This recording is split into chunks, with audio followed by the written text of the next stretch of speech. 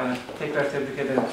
Başarılarının devamını dilerim. Bolu Valisi Aydın Baruş 15 Temmuz olaylarıyla ilgili yaşadıklarını ve düşüncelerini kaleme alarak kendisine gönderen Sakarya Ortaokulu 8. sınıf öğrencisi Rana Meryem Öztürk'ü makamına davet ederek tebrik etti. Gelecekte de milletimize karşı yapılacak bu tür tehdit ve saldırılarda sizin böyle bilinçli bir şekilde hareket etmesi, buna karşı uyanık olması bizim için son derece önem taşıyor. İl Milli Eğitim Müdürü Yusuf Cengiz ve Okul Müdürü İsmail Şener'le birlikte Vali Baruş'u ziyaret eden Öztürk, şehitlerimize mektup ismini verdiği yazısında neler hissettiğini anlattı. Hatta o anda aslında şey yaptım.